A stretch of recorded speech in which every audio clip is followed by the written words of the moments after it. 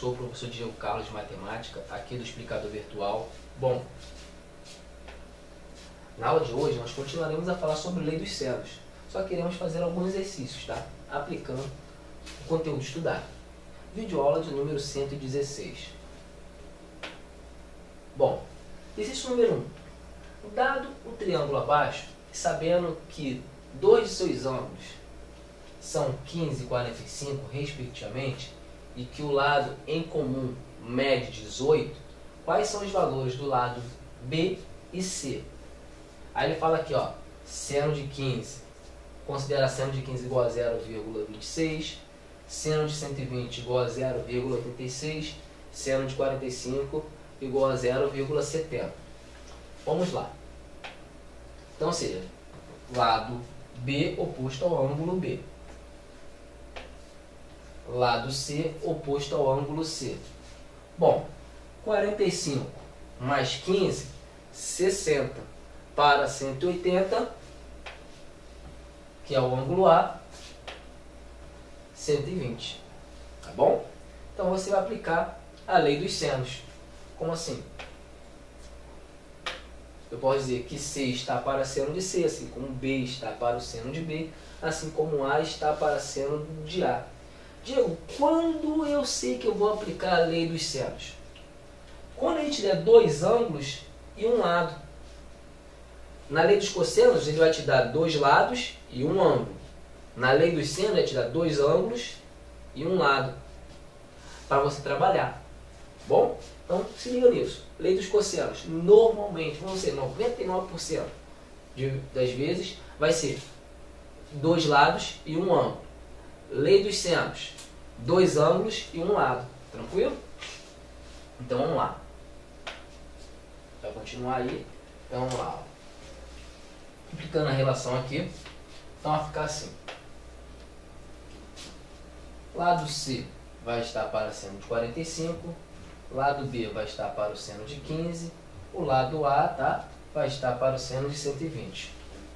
Substituindo, vai ficar C está para 0,70, assim como B vai estar para 0,26, assim como 18 vai estar para 0,86. Que são os valores de seno de 45, seno de 15 e seno de 120, tá bom?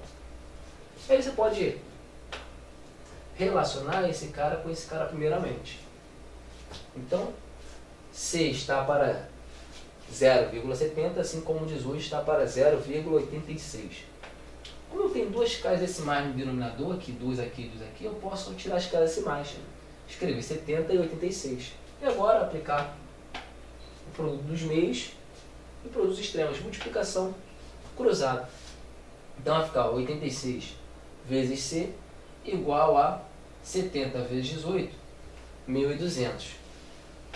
E aí C vai ser igual a 1200. 1260 dividido por 86, tá bom? C vai ser igual a 14,6.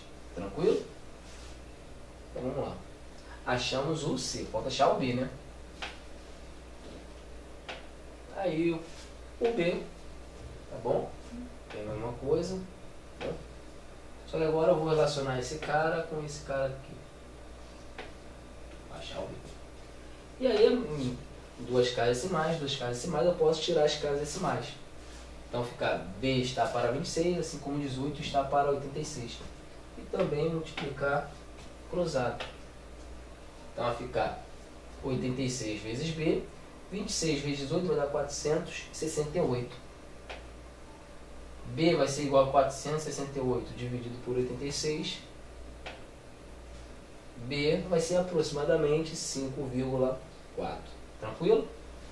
Você, aplicando a lei dos senos, aí você conseguiu desenvolver. Bom,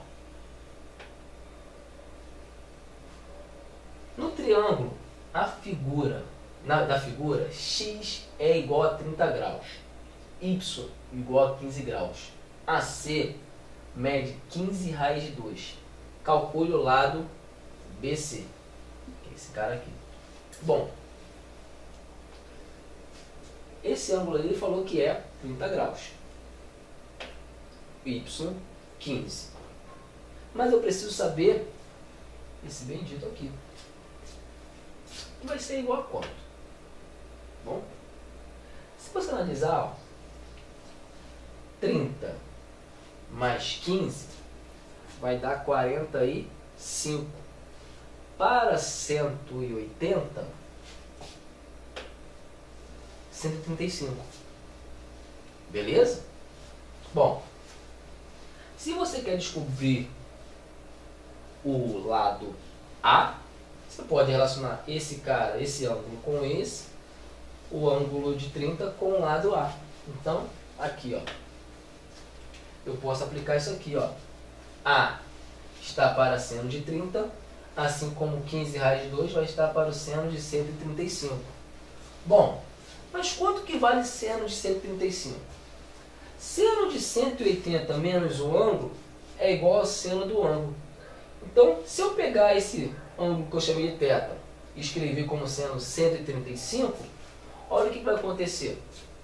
Vai ficar seno de 180 menos 135 vai ser igual a seno de 45. Então, no lugar do seno de 135, eu posso colocar seno de 45. Então, ó, vai ficar assim, ó, A está para seno de 30, assim como 15 raiz de 2 vai estar para seno de 45. Seno de 30 naquela tabelinha é igual a meio. E seno de 45, raiz de 2 sobre 2. Aí, ó, o que eu posso fazer aqui? Eu posso cortar esse cara aqui com esse cara aqui. Posso cortar o raiz de 2 com raiz de 2. Sobrou quem? O A e o 15. Tranquilo, gente? Então, ou seja, o valor de A vale quanto? 15. Tranquilo? Espero que você tenha entendido aí. Te aguardo na próxima aula e um abraço.